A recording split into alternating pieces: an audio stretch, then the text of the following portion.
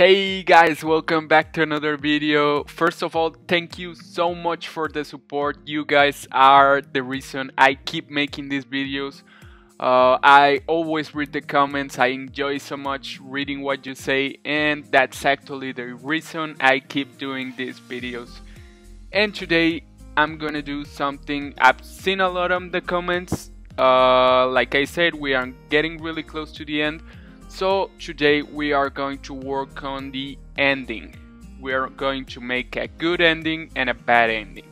So we're gonna make that separation between between endings and it's probably gonna be one of the last videos. It's not the last yet. I'm still gonna work on the lobby. I've seen you guys really want me to work on the lobby, but that's going to be the last last thing. So don't get uh, anxious about that. We're gonna get there. Just be patient and try to pay attention to what we are gonna do today. Okay, so first of all, since we're going to work on the ending of the game, at the end we will have to teleport the players back to the lobby. So first of all, I want you to create a new new workspace don't worry, this is just gonna be for the lobby of the game, which we are gonna make on the next video. Uh, but we have to publish it right now. So I want you to go to view, then go to game explorer, then go to publish and change it to um, school lobby or whatever the name of your game is. So we're going to create it close it. Then we're going to change the name here to, to school lobby. And then I want you to right click on places and create a new place. This will be our actual game. So we're gonna change the name to school game. Perfect. So this is now actually published on Roblox and now we can go ahead and close this we're back on our game and now I want you to go to to publish to Roblox as and then change the name to the name of the game, school. You're gonna update the exist existing game and you're gonna update the one that is named school lobby and then the school game. Remember, you don't you should not choose the school lobby, you should choose the one that is called school name. Perfect. So we're gonna override it. And that's perfect. We have our game now published on Roblox. So, okay, let's get started. So, my idea up for the ending was maybe making the teacher the monster. So I was thinking, how could I do a good and bad ending? How could I make that work? Uh, how could I relate the teacher with the monster? So I decided, hey, maybe there will be some kind of knife in the table, and then if you grab the knife, then you get to kill the teacher, and if you don't grab the knife, then um, maybe the monster reveals himself as the teacher, and there you go. You have a good ending where you kill the teacher and he's a monster, or a bad ending where the teacher turns into the monster and traps you into the school or kills you or whatever. So that's what we are gonna do today. So first of all I want you to go ahead to view then toolbox and we're gonna find a model we like for the knife so I'm gonna search for knife and act I think this one is pretty good. Looks really good. It's pretty fine. Just like I've said many times before, we gotta check that it's not that it's not um, infected. So we're just going to use the handle. We're gonna take it out to the workspace and we're going to delete the rest. That's okay. Let me go back in.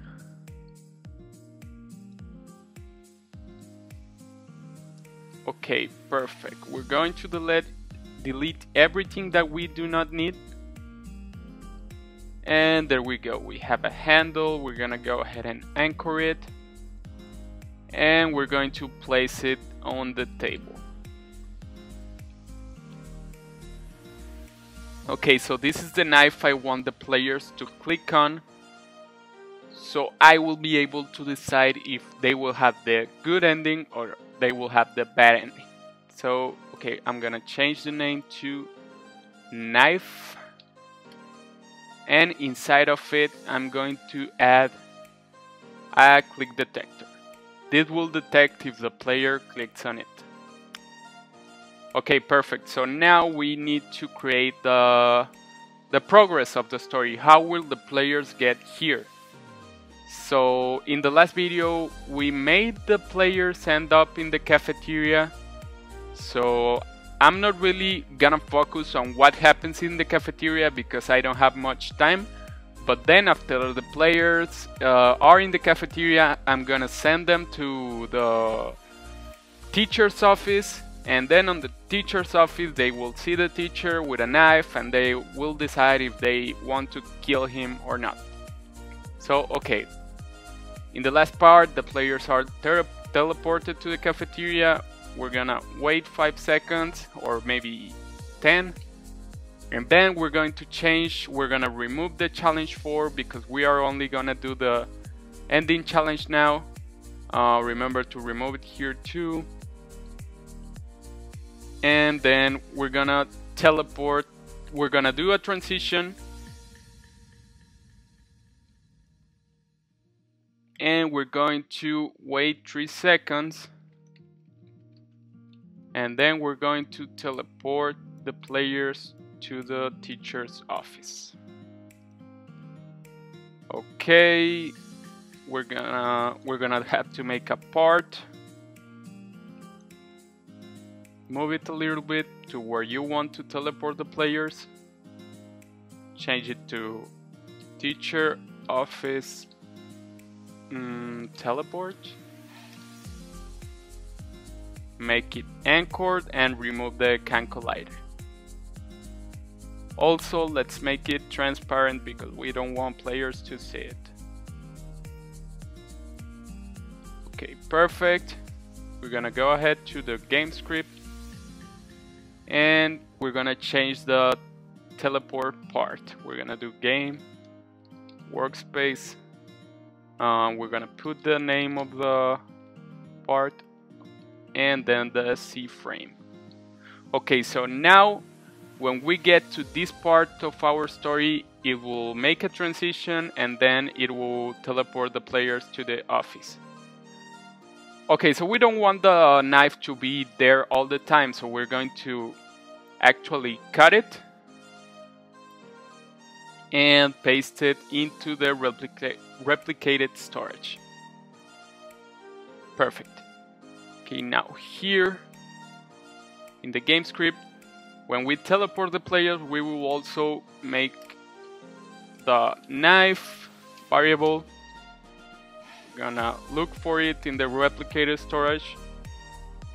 Gonna make a clone and we're gonna change the parent to the workspace. There we go. Okay, so now at that moment the knife will appear. Perfect.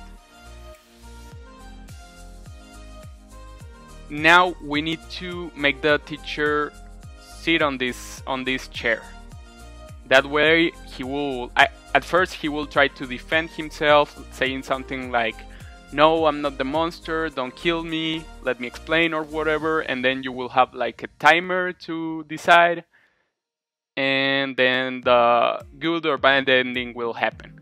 So let's do that. First let's make a teacher that sits on that chair. First, we need to add a seat because this chair doesn't have a seat inside it.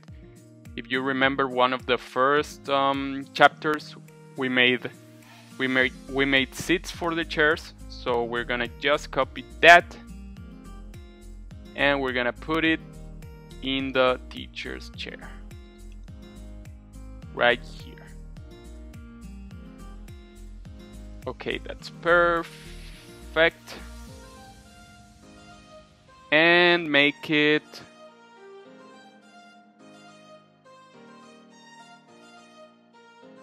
make it disable true. So the player cannot sit on it even if he wanted to because it's only for the teacher. Okay we're gonna go ahead and change the name to teacher seat. Perfect. And we're to we're gonna have to make another teacher model. So we're gonna take this one right here we're gonna change its name to teacher 2 okay so we don't want the the name to appear so we're going to remove that. We're going to go to humanoid and then we're going to change the display distance type to none. And that's perfect. Okay so now we're going to put the teacher where we want to which is here and then we're gonna cut it. And we're gonna put it in the replicated storage. Perfect. Okay now we want to make him sit on the chair. So at the same time we do the teleport and we do the knife and change his parent we're gonna also oh, do the same with the teacher. So we're gonna make a local teacher game replicated storage teacher to clone. And then we're gonna make the teacher parent the workspace. Parent equal game workspace. And then we're gonna find the the teacher seat which is in game workspace. Teacher seat. We're gonna sit the teacher. So we're gonna look for the teacher which is this one right here then the teacher humanoid. And that will make the the teacher model sit in the chair. So okay now at this point we have the players inside the room we have a knife in the table and we have the teacher sitting in the chair. So now we need to create some kind of dialogue before we make the player decide. So let's make something let's make the teacher say something. So we're gonna copy the teacher dialogue which is this one right here. Um, remember we have to take the teacher image. And now we will make the teacher say something like hey what are you doing here I was not expecting you.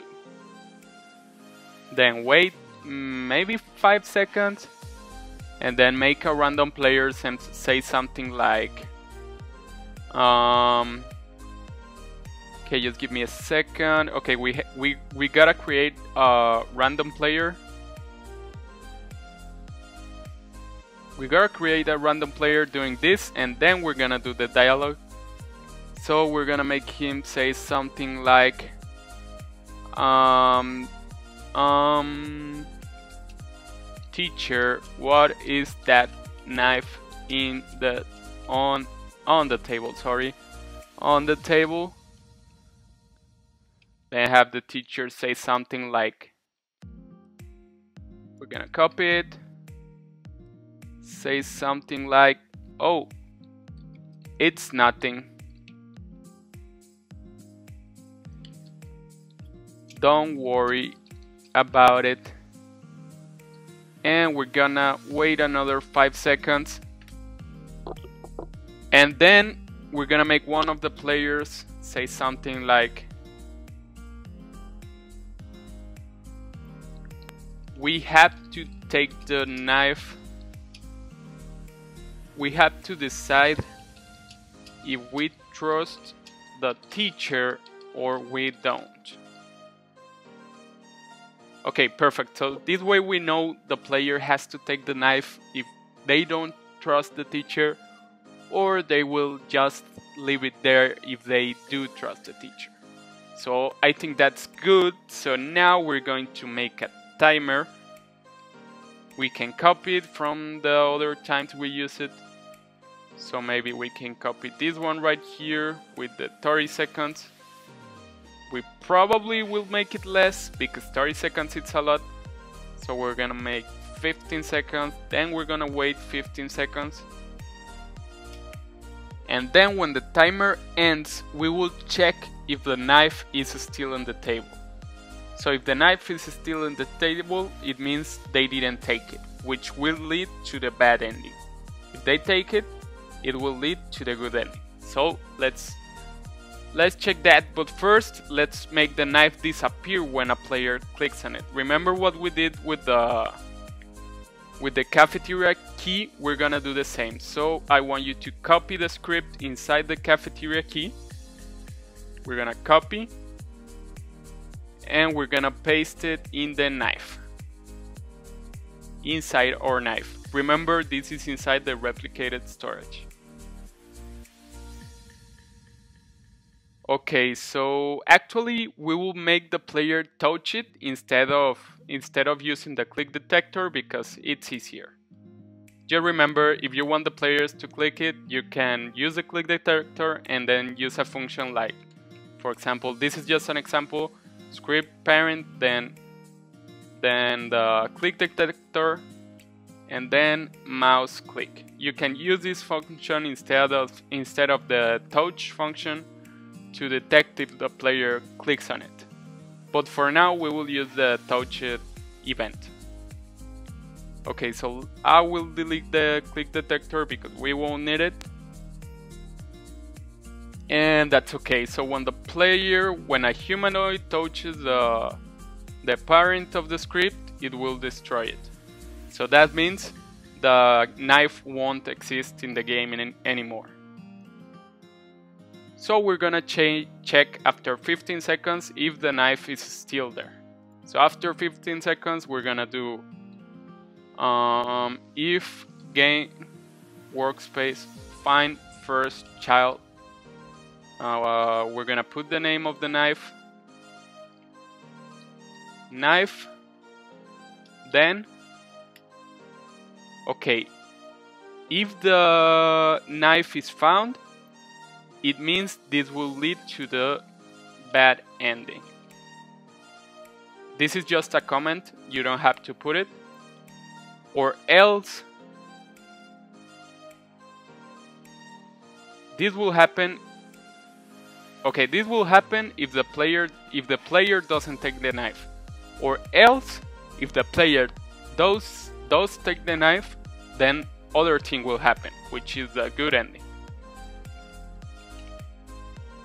Okay, so this is the way we will separate it. This is the bad ending and this is the good ending. So, okay, if the good ending, let's focus on the good ending first. So, okay, if the player takes the knife, then we'll make the player say something like, we don't trust you. Okay, so now guys, we're going to make the ending screen. So I want you to go to Starter GUI, then Screen GUI, and we are going to create a new frame. So insert object, frame, we're gonna change its name to end. Remember capital E, then ND.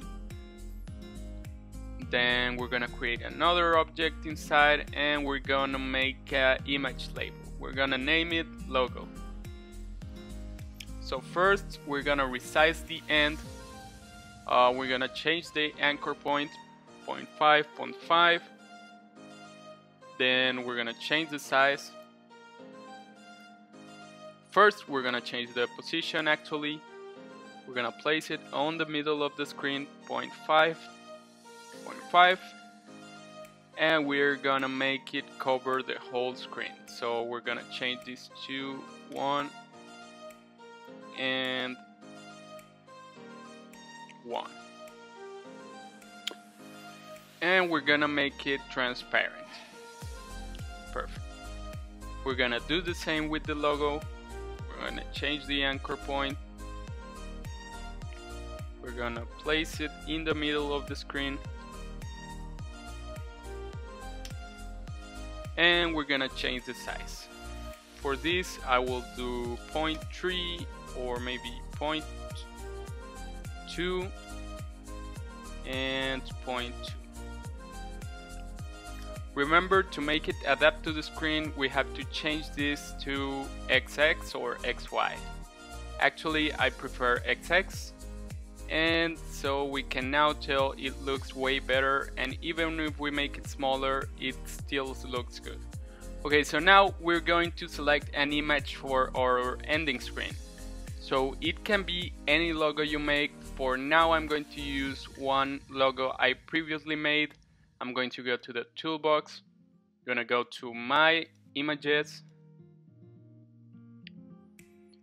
and I'm going to pick the airplane tree victory logo.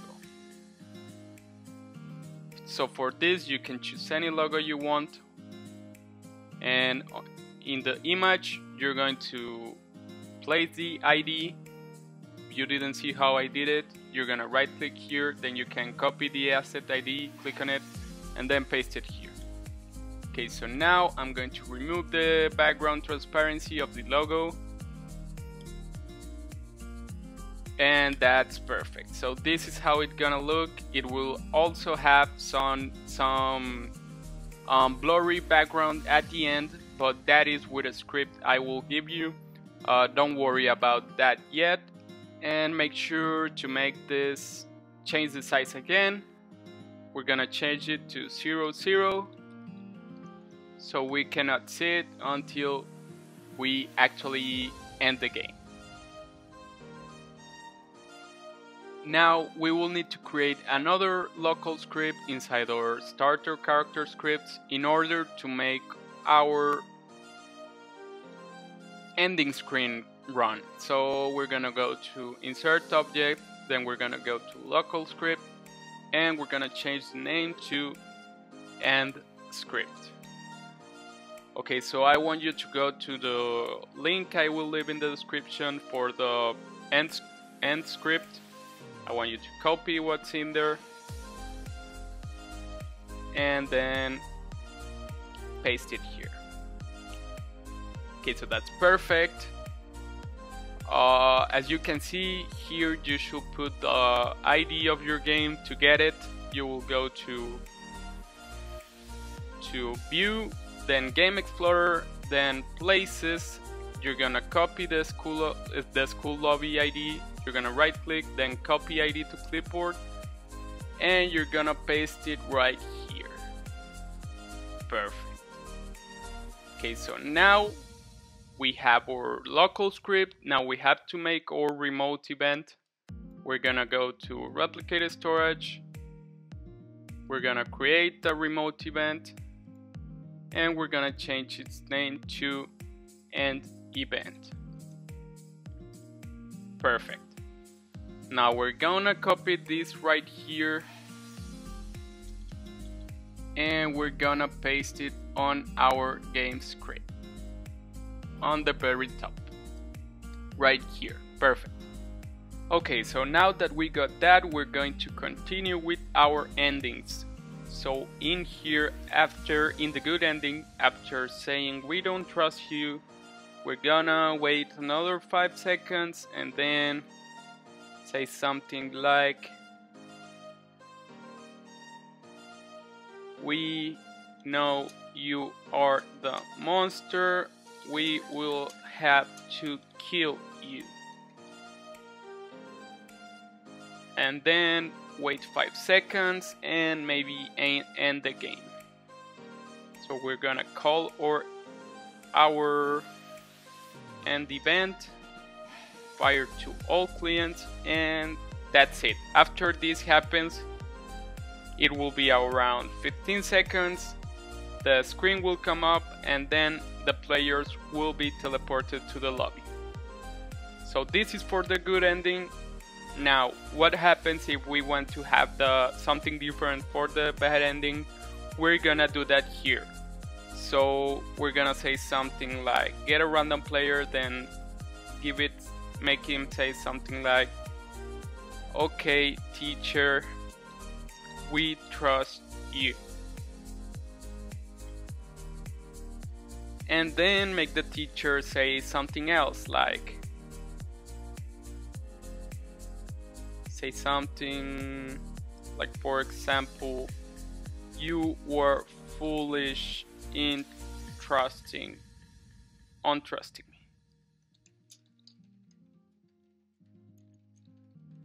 I'm the monster. And there is actually many things you could do. You could make a transition and then delete the teacher and then make the monster appear in the position of the teacher. So it looked like it transformed like I did in Airplane 2, something like that, but I don't really want to spend a lot of time on that because I know you guys can already do it. So let's say it happens and then we wait another 5 seconds and we finish the event. So we're gonna end the event, we're gonna copy it and we're gonna paste it here. So this will happen in the bad ending and this will happen in the good ending. So let's go ahead and test that. We're gonna play. Okay, so I noticed a few bugs. Uh, first of all, the text was too fast, so we're going to add some more time. Maybe 7 seconds. I'm gonna add 7 seconds after we teleport the players. Then I'm gonna change every 5 to 7, so it takes a little bit more of time which I think is better. They, this is actually up to you guys, so make it as you prefer. And also the teacher was not sitting on the seat, so I want you to go ahead and go to the teacher model inside the replicated storage. And then go to the humanoid root part and make sure it's not anchored. And that should make the teacher actually sit. Okay, so that should work now. Let's go ahead and test it again. Okay, so we're now in the teacher room. The teacher is sitting. The knife is in the table. Hey, what are you doing here? I was not expecting you. Okay, the dialogue works great. Knife on the table. Nothing. Don't worry about it. Okay, then the timer goes off. We have to decide if we trust the teacher. Okay, so we take the knife. The knife goes out of the table.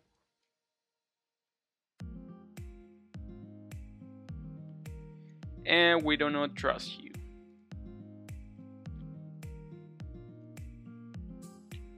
We know you're the monster.